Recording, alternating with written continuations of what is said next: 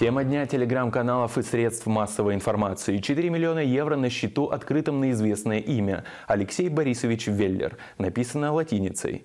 В рублях эта сумма астрономическая, свыше 330 миллионов. Мы попробовали найти следы таких немалых доходов в официальных декларациях у депутата Госдумы от Красноярского края и экс-депутата парламента страны от Мурманской области Алексея Борисовича Веллера. Но тщетно.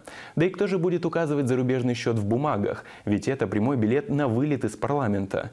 Участвовать в выборах с имуществом за рубежом тоже нельзя. В нашей стране не может быть депутатов с заграничными счетами.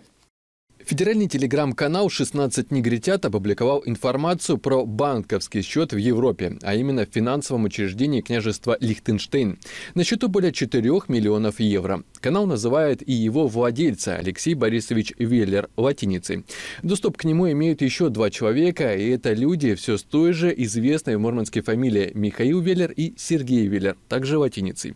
С правовой точки зрения наличие счета в зарубежном банке для депутата Госдумы прямой путь к прекращению депутатских полномочий, дают пояснения адвокаты. Согласно статье 10 Федерального закона номер 79 ФЗ, э, несоблюдение депутатом Государственной Думы либо членов, членами его семьи э, запрета иметь счета в иностранном банке э, за пределами территории Российской Федерации влечет досрочное прекращение его полномочий. В данном случае решение о прекращении полномочий депутата Государственной Думы может быть рассмотрено двумя путями. Либо э, решение может быть принято соответствующей комиссией Государственной Думы в форме постановления о досрочном прекращении полномочий, либо это может быть рассмотрено в судебном порядке путем предъявления административного иска. На ситуацию сразу же отреагировал Генсовет «Единой России», ведь такой факт бросает тень на партию. Возможно, в кулуарах уже задумались, нужен ли им вообще такой представитель или его пора выгнать с позором.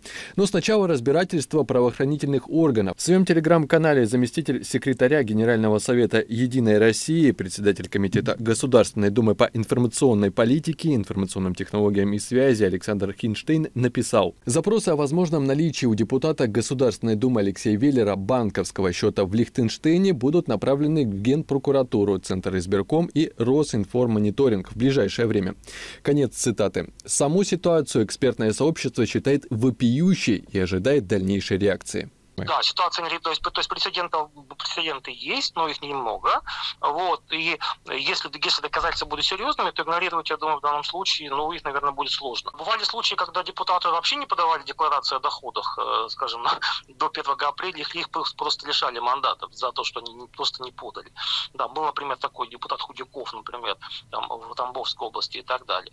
Так что, такие, ну, и, ну, да, и у вас в Мурманске были скандалы, но не подача там в срок это одна история, а когда ты прямо нарушаешь закон и конституцию, когда выясняется, что ты изначально ты избираться не имел права, поскольку у тебя просто были на момент избрания уже а, атрибуты, которых э, у тебя было не, не, могло быть физически, да, с точки зрения твоего права баллотироваться. При наличии счета за границей нельзя участвовать в выборах, причем не только в этом году от Красноярского края. Счет, по данным источника, открыт в 2016 году перед выборами Веллера в Госдуму в качестве кандидата от Мурманской области.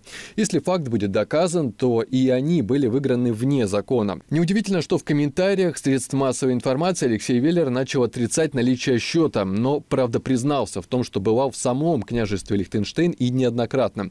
Вы верите, что с туристической целью это местечко знаменито одними офшорными банками, которые притягивают коррупционеров. На счетах в таких банках можно попытаться спрятать более 4 миллионов евро. И вот что по этому поводу думают мурманчане. 4 ляма евро, а деревяшки так и не снес в Мурманске. Хорошо наворовал, талантища. Уже упала от таких цифр. Думаю, все понимают, откуда такие деньги у Веллера. Вот как надо воровать, деревяшки еще постоят. Вспомнили мурманчане и про новое звание Алексея Веллера – почетный гражданин Мурманска. Даже в шутку бы не стала называть его почетным, обокрал бюджет. Что дальше на этот вопрос в сети отвечают просто «сажать».